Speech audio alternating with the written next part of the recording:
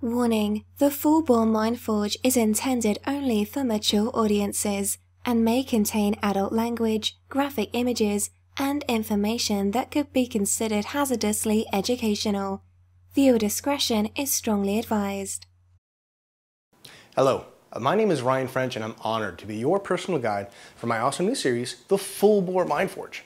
I created the show so that I could expand my ability to reach out to hungry mind forgers just like you. So how do you know if you're a mind forger? Well, try these thoughts on for size. Do you question the world around you? Or have you always taken things at face value? Have you ever committed any time to training yourself and others in defensive or survival skills? Ever wonder how your mind is capable of problem solving or how it manifests your unique talents? Do you find yourself pushing the limits of your brain power potential? Well, if any of these ideas resonate with you, then I believe you've already begun your journey in becoming a mind forger.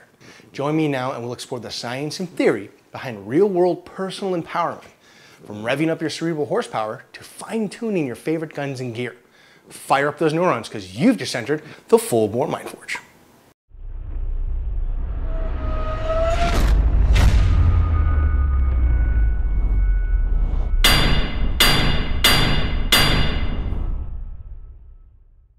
In this episode of the Full Bore Mind Forge, we're to explore what really makes up the three pounds of tofu we all have between our ears. And then we're going to explore the holy grail of ballistics, real life magic bullets. Let's get started. To begin my inaugural episode, I want to share one of my all time favorite quotes with you. The late Daniel Boorstin, a former Librarian of Congress, once said, The greatest obstacle to discovery is not ignorance, it is the illusion of knowledge. At one time or another, I think we've all been on the wrong side of that quote. However, a true mind forger understands that it's essential to pursue knowledge and wisdom beyond their own understanding. And as that name implies, mind forgers have a passion to strengthen and temper their intellects in every formable aspect. So if you're hungry for the unique skills and knowledge that will empower you to better ensure a secured quality of life for yourself and those around you, then you've definitely come to the right place. Without Googling it, do you know what your brain is literally made from? Did you say tofu? Sorry, but that's incorrect. However, tofu does have one of the closest tangible likenesses to the human brain. Okay, so thankfully there's no tofu, but maybe you said brain cells or nerves. Did you guess water or blood? Well, those answers are all correct. But what if I said your brain contained 25% of your body's total quantity of this vital but controversial ingredient? I'll give you a hint to choose from. From these clues, what missing ingredient has the brain commandeered 25% of from your body's total? Have you figured out what the answer might be? Is it delicious grass-fed Irish butter? Unfortunately, no, but nearly 60% of the brain is actually made of fat. So other than brain cells, nerves, water, blood, and fat, what's the missing ingredient? Is it protein? Your brain certainly has protein in it, but the answer we're looking for is cholesterol. What did you say? You heard it correctly. I said cholesterol. And without it, your brain will be seriously crippled. Relax, just hear me out. So what does it really mean for you to know what your brain is made of? Honestly, it's because you are what you eat. Actually, to say it even better, you are what you absorb from what you eat. But we'll talk about the chemistry of digestion another time. For right now, we know that 25% of the body's total cholesterol is literally in your brain. But let me share the real clincher much of the cholesterol in your brain has been primarily formed into myelin.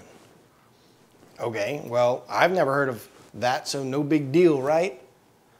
Well, myelin plays a part in the form of myelin sheathing, a process known as myelination. These myelin sheaths are like insulating boosters that wrap along the lengths of your nerve axons in segments. Axons use these myelin segments called sheaths to help speed up and strengthen the signals sent through them by their neuron.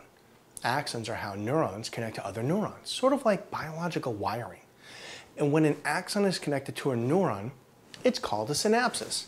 Recently, it has been estimated that you could have up to 200 billion neurons, and together, those neurons have well over 100 trillion connections, all of which are made through microscopic dendrites at the end of each axon. And what do these cholesterol-loving connections become? Why, nothing more than your thoughts, memories, cognitions, and consciousness itself. It's who you are. Seeing that the raw material needed for the support of billions of neural connections is essentially cholesterol, doesn't it make sense to start researching the true role of cholesterol in your nutrition? It's not as simple as just eating eggs, meat, or even blubber like the Inuit. But don't take my word for it. Cholesterol actually does quite a bit more. But we can talk about that another time. Do your own research in brain chemistry and discover what fits best into your life. Whether you're a firefighter, police officer, or a civilian sheepdog disguised as an office John, your brain's ability to process information into swift and accurate decisions can have a life-changing impact on the people around you. We interrupt this broadcast for an important public service announcement from the Law Office of Murphy Murphy. Recent evidence from the Department of Social Science has confirmed that if there is a wrong way to perform a critical task, then someone at hand will do that task in the worst possible way, and they will do so as soon as possible. We now return you to your regular programming. Part of what it means to be a mind forger is to stay well adapted to gathering trustworthy information. This qualified information becomes knowledge, and the unqualified information enters the obscurity of subconscious. So when there is a disparity between the legitimacy of our information sources, how can we begin to learn the ways to help identify the difference? Well, here's a starting point. Have you ever heard of native advertising? John Oliver recently did a fantastic segment on native advertisement on his HBO show Last Week Tonight, and it was exceptionally relevant to all mind forgers and responsible citizens alike. Here's a quick clip from his segment. Native advertising is basically saying to corporations that want to advertise, we will camouflage your ads to make them look like news stories. Mm. That's essentially it. Even if you've not heard the term native advertising before, you have probably been subjected to it by now. It's when a piece of ostensibly normal content is stamped with tiny disclaimers like uh, this and this, and then contains messages that are often clear endorsements. And if you'll excuse me, I'll just take a break uh, from making this point by enjoying the refreshing taste of Mountain Dew Code Red. Mm. And then it's at this point that you usually realise oh, this isn't the thing that I was looking for. You're just advertising the most disgusting drink ever manufactured. although, although, I will say it does undeniably taste of red. Uh, native advertising, though, has been so lucrative for new media organisations that they've basically built their entire business model around it. Essentially, native advertising is a paid commercial advertisement that is specifically camouflaged and strategically placed to specifically appear as a news article or TV program within its host. Here are some examples. When Google made the decision with their AdWords program to not merely show ads on the right hand side, but to shift the ads above the organic search, that became native advertising. To the common person, even though it's in a yellow background, even though it says sponsored or advertisements above it, looked exactly like a normal uh, Google search result, but it was paid. Twitter, Facebook, these are very, very, very common. Even Pinterest has gone native. YouTube has gone native. So when somebody searches for a particular phrase in YouTube, if they're looking for a particular type of video, you can make sure that your video shows up number one for that search. And this is all managed through the AdWords platform because obviously YouTube is owned by Google. This is getting rolled out across every single social media platform because the ads by themselves are not enough and they're all going public and man, they need the monies. They need it in a major way. As you can see, advertisements that are disguised this way are literally intended to be misleading by the very nature. Fake news, which ironically is a quote, real thing, is the same as native advertising. The only difference is it's basically an infomercial in disguise. You're responsible for your family's welfare and well-being. Why would you allow your decisions to be influenced by the deep pockets of some advertising department? Always be thorough with your research and definitely scrutinize anything before you trust your family's well-being to product or service. And for the record, that includes the full-bore MindForge. Whether you're reading a newspaper, watching TV, or visiting a website, pay attention to what you're paying attention to and look for clues to its true source. Companies will always advertise their products and services. And, well, they certainly need to do so for their success. But unethical trickery as a new form of advertising, honestly, I don't just think we deserve better, I know we deserve better than that.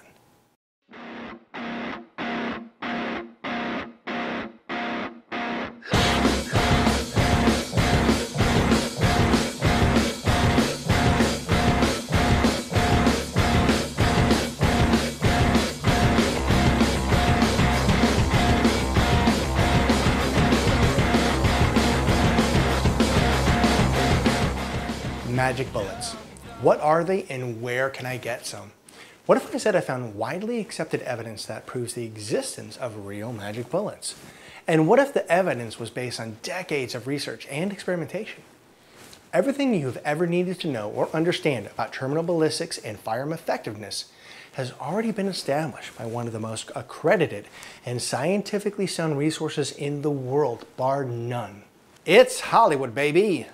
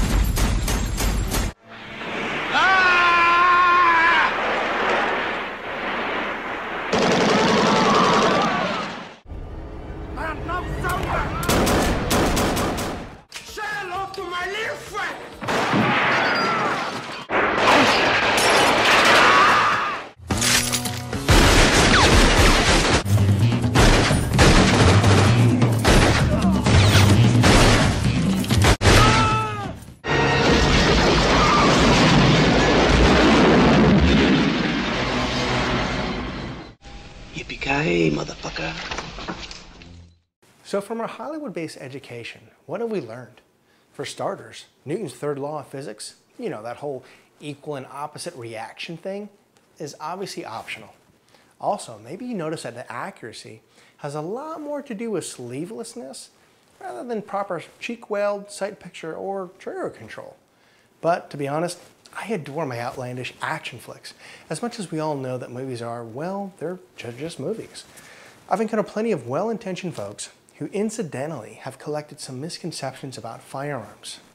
Now, I would never expect any diligent mind forgers to buy into Hollywood's version of a gunfight, but it still might be possible to pick up a few subconscious firearm biases that might have been rooted in a favorite movie or something like that.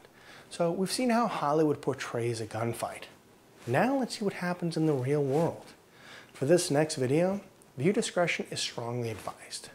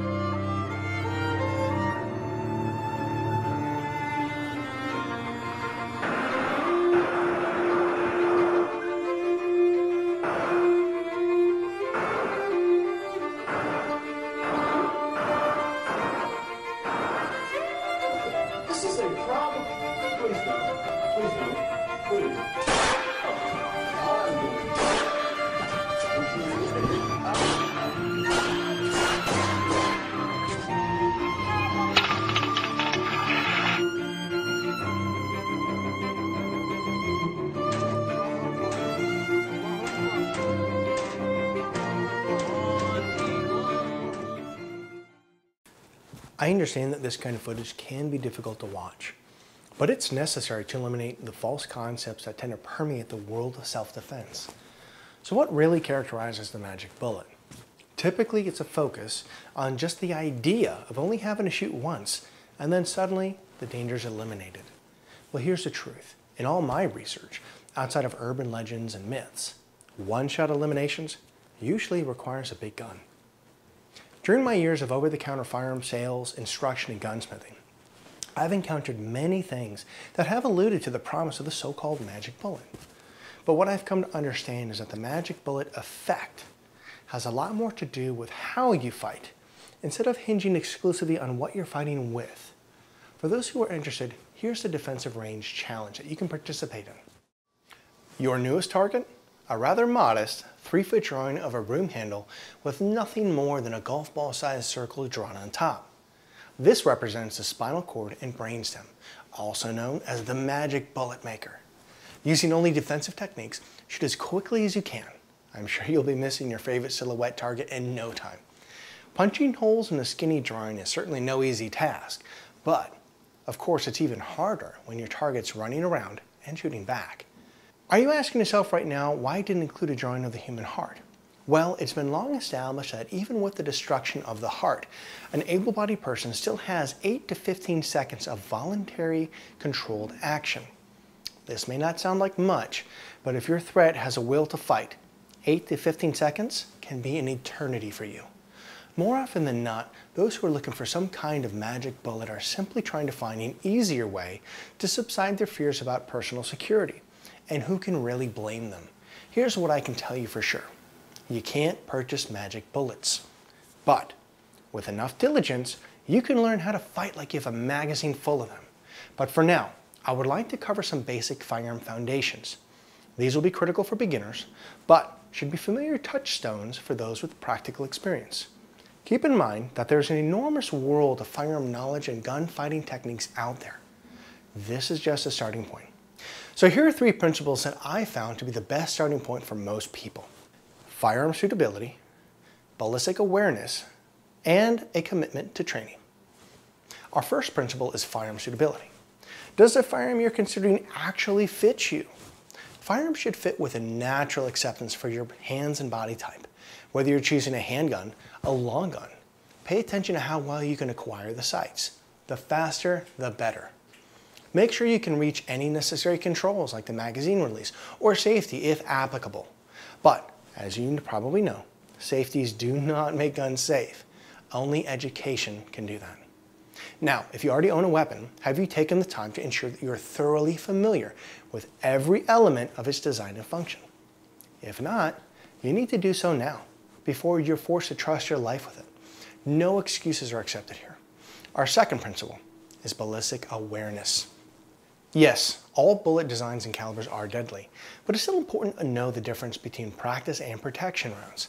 Primarily, you're likely to practice with full metal jacket ammunition, which is less expensive but has a high risk of overpenetration and collateral damage if used for protection. Now, for defensive purposes, particularly in handguns, it's best to use hollow points or bullets that have deformative characteristics. These offer excellent stopping power and have a significantly lower risk of collateral damage. This reduced risk is due to the energy that's dispersed once a threat or substrate is hit. Do you know how deeply your current ammunition penetrates soft tissue? Have you researched what an appropriate penetration depth is? If you don't know, press pause now and make a notation to look this info up after the show. It's your responsibility to understand how your defensive tools will impact the world around you. Terminal ballistics is just as real for the bad guys as it is for the bystanders. Now, our third and final principle is by far the most important.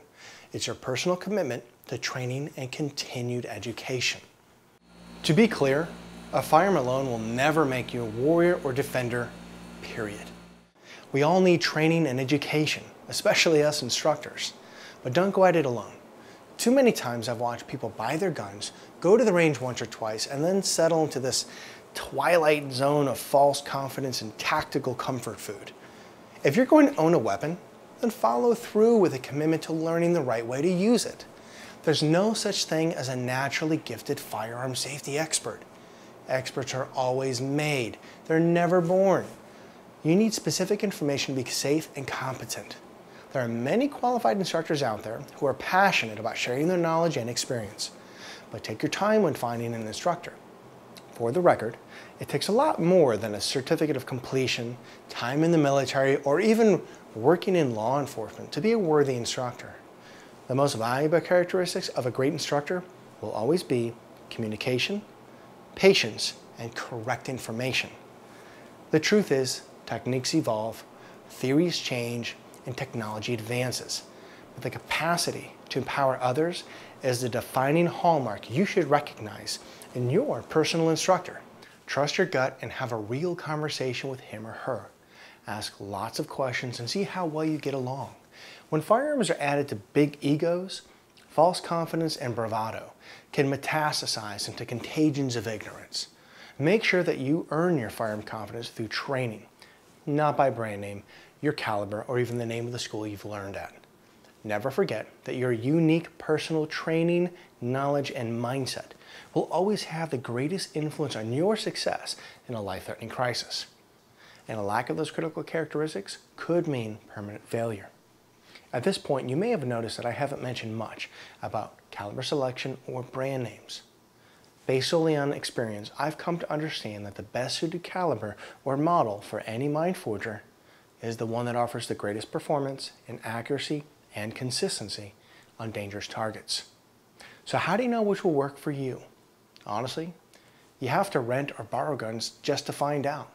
Fitting a firearm is a physical process, and that can take time. Don't rush yourself or the person you're helping. Instructors, ask yourself this. If you had a choice, would you rather hit a bad guy with a 380 or miss with a 44 Magnum? Whether you agree with them or not, firearms are tools that serve a very sacred purpose in all of our lives. But your mind will always be the first and last line of defense. I definitely encourage you to pursue further research into understanding what will best suit your defensive needs. And in all sincerity, I believe that the only true magic bullet is the one you never had to fire in the first place. While you ponder that, please enjoy this beautiful slow motion footage made by Werner Mehl from Kurzzeit. うん。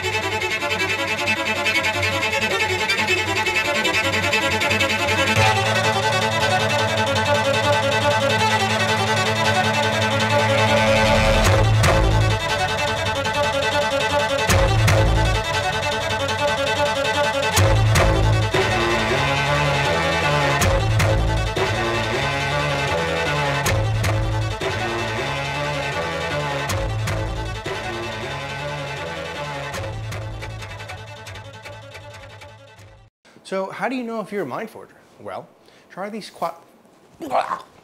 So how do you know if you're a mind forger? Well, try these thoughts on precise. Do you question the world? No, don't do that. Don't question anything. I created the show so that I could expand my ability to reach out to hungry, mournful...